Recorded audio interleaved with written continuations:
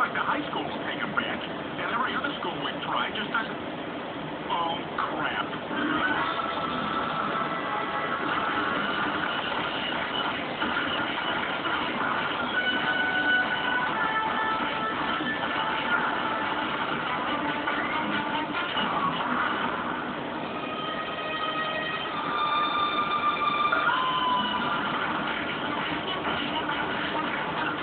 Thank you.